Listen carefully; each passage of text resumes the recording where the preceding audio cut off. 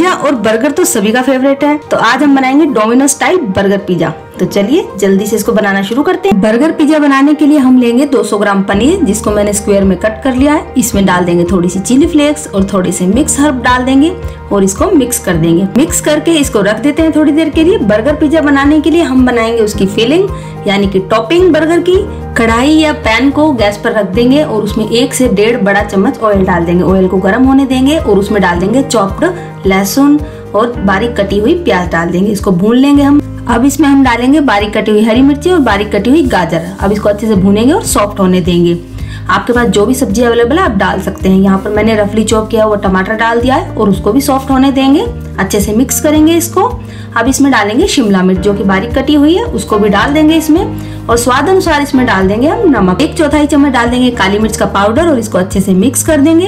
अब जो हमने पनीर रखा था उसको भी इसमें डाल देते हैं और इसको मिक्स करेंगे और एक चम्मच यहाँ पर डालेंगे हम पिज्जा सॉस अगर आपके पास पिज्जा सॉस नहीं है तो आप इसके अंदर टमाटो केचप भी डाल सकते हैं और इसको अच्छे से मिक्स कर देंगे और इसको अब ठंडा होने के लिए हम थोड़ी देर के लिए छोड़ देते हैं। बर्गर की फीलिंग बनकर के तैयार है। यहाँ पर मोजरेला चीज़ लिया है और ये है मेरे पास मेयोनीज अगर मेयोनीज नहीं है तो आप यहाँ पर टमाटो केचप भी लगा सकते हैं। अब इन बन के ऊपर हम मेयोनीज लगा देंगे दोनों पर। अच्छे से हमें मेयोनीज लगानी है। ये बहुत ही टेस्टी बनकर के तैयार होगा बर्गर ये देखिए दोनों पर मैंने यहाँ पर मेयोनीज लगा दी है।